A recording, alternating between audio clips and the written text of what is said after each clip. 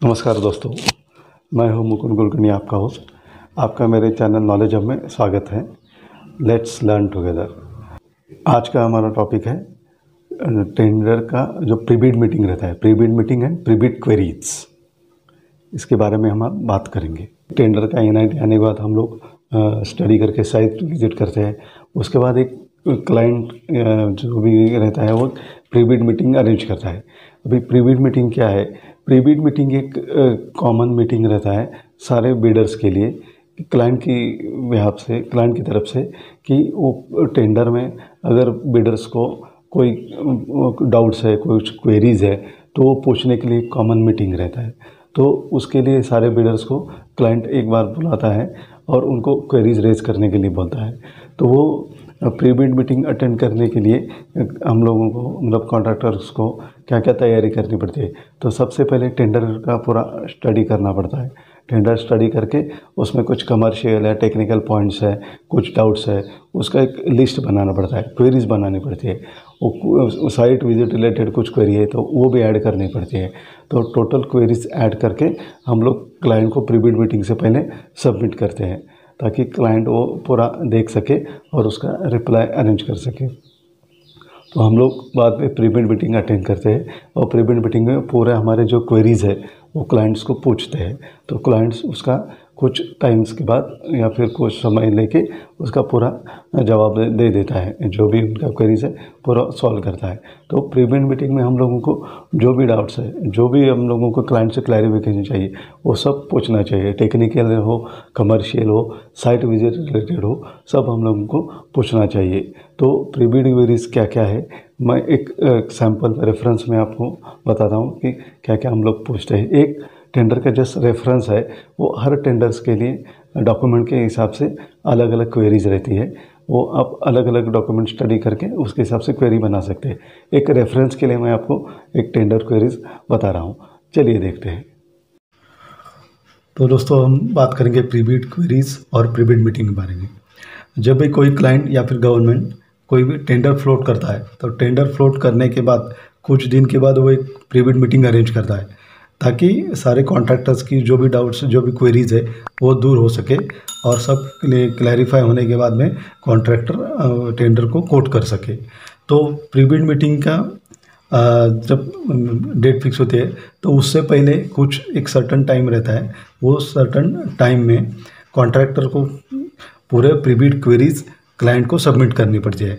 तो pre-bid queries क्या है? जो भी डॉक्यूमेंट के हिसाब से कॉन्ट्रैक्ट जो भी डाउट है क्वेरीज है टेक्निकल हो कमर्शियल हो तो वो पूरा पूरा क्लाइंट्स को सबमिट करना पड़ता है।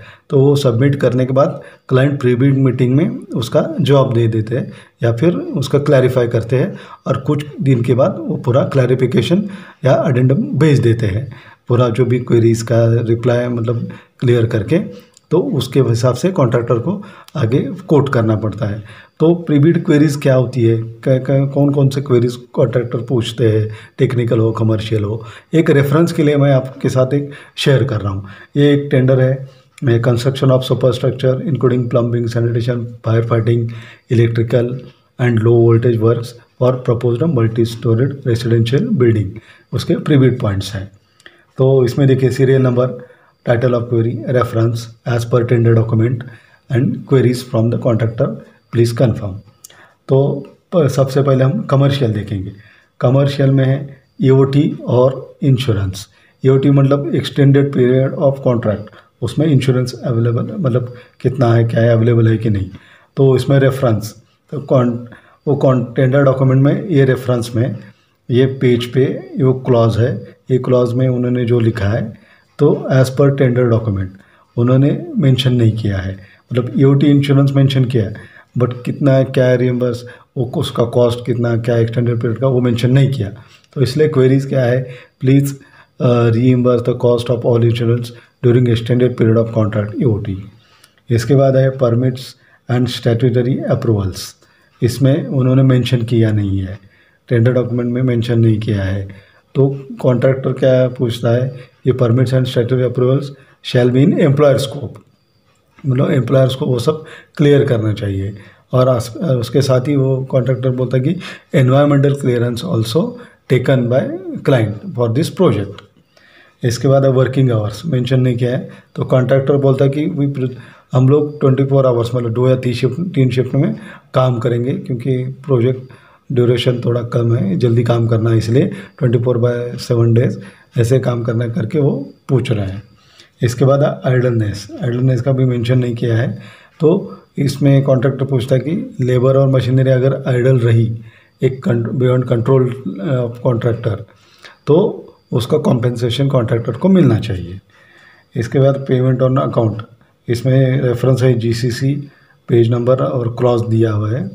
इसमें ऐसा बोलता है कि the owner may your description the contractor, may on account of payment contractor during the progress of work on the basis of running account bills and वॉरक्टर स्पेसिफिकली मैंशनड तो रनिंग अकाउंट बिल के हिसाब से इनका payment होगा। तो contract और payment का ड्यूरेशन मेंशन नहीं है। इसलिए कॉन्ट्रैक्टर क्या रिक्वेस्ट करता है कि पेमेंट द पेड मतलब जो भी रनिंग अकाउंट बिल था उसका बिल जो पेमेंट जो भी होगा सेवन डेज़ मतलब हम कॉन्ट्रैक्टर बिल सबमिट करने के बाद सात दिन के अंदर पेमेंट मिलना चाहिए। और ई बिलिंग का भी हम लोगों को अलाउ कीजिए, ऐसा कॉन्ट्रैक्टर बोलता है। और अगर बिल डिले हुआ तो कॉन्ट्रैक्टर उसके ऊपर कुछ इंटरेस्ट भी माँगता है रिक्वेस्ट कर रहा है। अब ये फाइनल बिल फाइनल बिल में इसमें जीसीसी पेज नंबर क्रॉस वो सब लिखा हुआ है। तो इसमें लिखा है कि फाइनल बिल जो भी है वो कॉन्ट्रैक्ट इंजीनियर तीस दिन के बाद मतलब जो भी है चेकिंग करने के बाद, वो पूरा सबमिशन इसका चेक करने के बाद तीस दिन के बाद मतलब वर्क कंप्लीशन होने के बाद तीस दिन के बाद वो चेकिंग करेंगे और चेकिंग करने के बाद पूरा स्क्रूटनी करने के बाद कंप्लीशन सर्टिफिकेट वगैरह देंगे और बाद में पेमेंट करेंगे। तो कॉन्ट्रैक्टर बोलता है कि ये फाइनल बिल का पेमेंट जो भी है, हमको पंद्रह दिन सबमिशन जब फाइनल बिल सबमिशन होने के बाद पंद्रह दिन में मिलना चाहिए। अभी मशीनरी एडवांस इसमें मशीनरी एडवांस मेंशन नहीं किया है तो कॉन्ट्रैक्टर बोलता है कि मशीनरी एडवांस हम लोगों को दस परसेंट ऑफ़ कॉन्ट्रैक्ट वैल्यू दे दीजिए। मतलब जो भी नया मशीनरी और ओल्ड मशीनरी जो भी है। इसके बाद वाटर एंड इलेक्ट्रिसिटी इसमें अनेक्चर टेन है रेफरेंस है पेज नंबर और क्रॉस तो इसमें लिखा है कि कॉन्ट्रैक्टर शाल मतलब कॉन्ट्रैक्टर को ही अरेंज करना है वाटर और electricity at is own cost और ये क्लाइंट जो भी है, वो रिस्पॉन्सिबल नहीं है उसके लिए।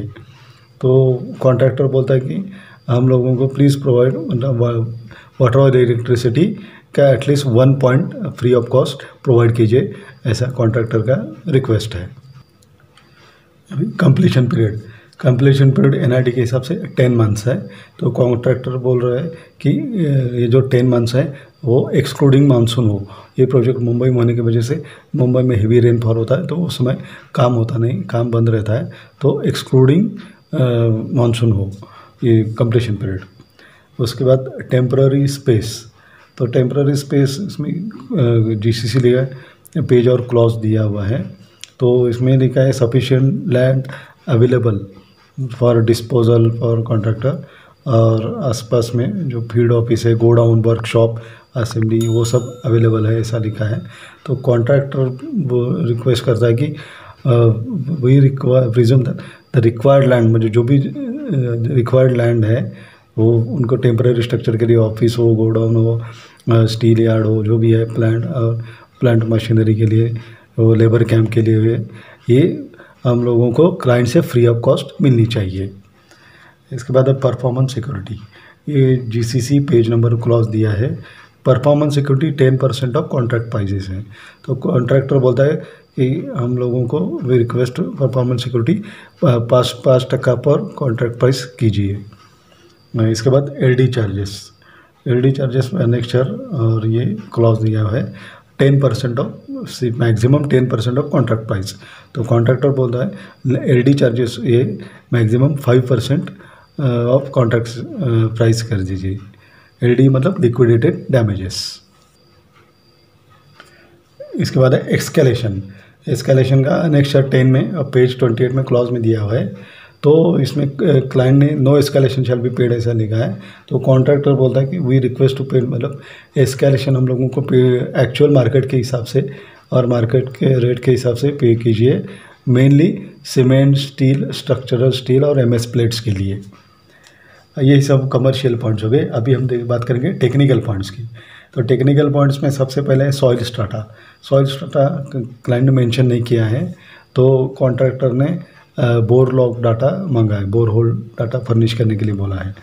एक्सकेवेशन स्टफ़ मेंशन नहीं किया है तो कॉन्ट्रैक्टर ने exact location for disposal of excavated stuff मतलब जहाँ डिस्पोजल करना है, उसका एग्जैक्ट लोकेशन किधर है वो पूछा है।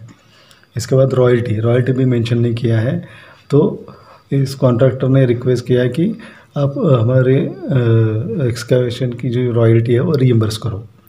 इसके बाद यूटिलिटी शिफ्टिंग वो मेंशन नहीं किया है। तो कॉन्ट्रैक्टर ने बोला कि वी प्रिज्यूम दैट सब यूटिलिटी शिफ्टिंग जो भी है, वो हमारे स्कोप में नहीं है। अगर इनके शिफ्टिंग की वजह से कुछ देर हुआ, काम में देर हुआ लेट हुआ तो इसके लिए कॉन्ट्रैक्टर जिम्मेदार नहीं है। तो इसके लिए आप यूटिलिटी शिफ्टिंग आप करके दीजिए, करके ये कॉन्ट्रैक्टर बोल रहा है। इसके बाद फ्लैश फ्लैश के बारे में कुछ मेंशन नहीं किया है। तो कॉन्ट्रैक्टर ने बोला कि फ्लैश अगर कॉन्क्रीटिंग में अलाउ है कि नहीं, अगर है तो उसका कितना परसेंटेज है कंक्रीट में? तो उसके बाद प्लॉट ड्राइंग प्लॉट ड्राइंग दिया नहीं है तो कॉन्ट्रैक्टर ने plot layout drawing propose site का मांगा है। इसके बाद रिफ्यूजी एरिया तो रिफ्यूजी एरिया में से ड्राइंग है नंबर है, कुछ ड्राइंग का रेफरेंस दिया है तो इसमें वॉलिंग प्लम्बिंग इलेक्ट्रिकल दिया है। तो इसमें रिफ्यूजी एरिया जो है वो कॉन्ट्रैक्टर प्रिज्यूम करते हैं कोई इंटरनल वॉल के बिना है और ड्राइंग में कैसा वॉल प्लम्बिंग इलेक्ट्रिकल सब दिखाया है तो आप क्लियर कीजिए कि इंटरनल वॉल वॉलिंग है कि नहीं। और इसमें इस, आपका जो स्कोप है वो भी स्पेसिफाई कीजिए रेफ्यूजी एरिया का।